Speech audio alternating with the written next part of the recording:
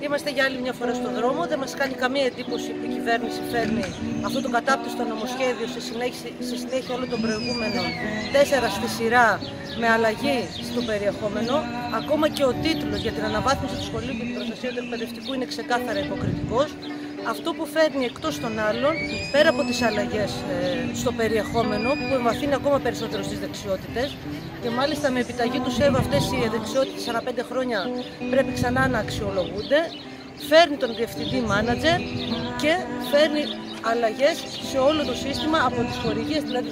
απαλλάσσει στην ουσία την ευθύνη του κράτους από το σχολείο κατά 35% σε πρώτη φάση. Εμείς τους δηλώνουμε απερίφραστα, το έχουμε κάνει άλλωστε πέντε φορές αυτή τη χρονιά και συνεχίζουμε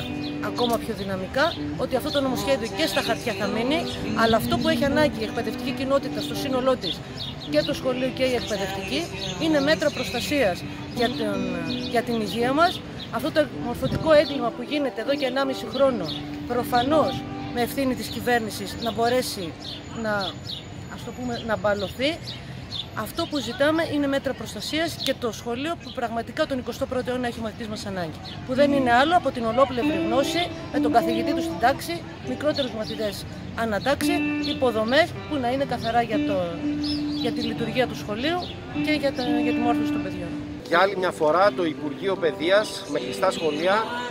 θέλει να φέρει ένα νομοσχέδιο που θα κατηγοριοποιήσει ακόμα περισσότερο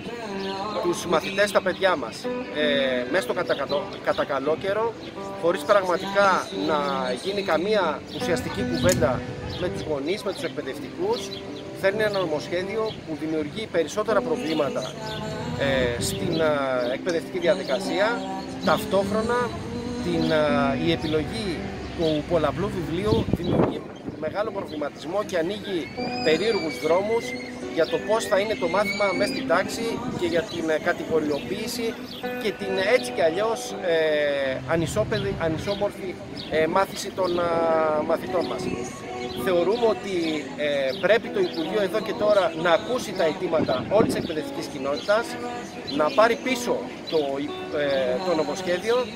που έτσι κι αλλιώς στην πράξη θεωρούμε ότι δεν θα εφαρμοστεί. Καλούμε όλους τους γονείς να σταθούν στο πλάι της Ομοσπονδίας, να κουβεντιάσουν ε, μέσα στους συλλόγους, μέσα στις ενώσεις και να απορρίψουν στην πράξη αυτό το νομοσχέδιο που φέρνει το Υπουργείο Παιδείας. Σήμερα το Υπουργείο Παιδείας εξήγηλε 11.700 διορισμούς, οι οποίοι ήρθαν μετά από 12 χρόνια διοριστείας, ε, και οι οποίοι αποτελούν ένα τυράκι ουσιαστικά απέναντι στο νομοσχέδιο το οποίο κατακαιρματίζει τη, γνώ, τη γνώση, κατηγοριοποιεί τα σχολεία και αφήνει ουσιαστικά τους, ε, τους μαθητές στο, στο απειρόβλητο. Ε, εμείς λέμε ότι αν θέλει το Υπουργείο να αναμορφώσει το εκπαιδευτικό σύστημα και το σχολείο, πρέπει εδώ και τώρα να μονιμοποιήσει 60.000 αναπληρωτές, γιατί με τόσο κενά θα ξεκινήσουν τα σχολεία από του χρόνου,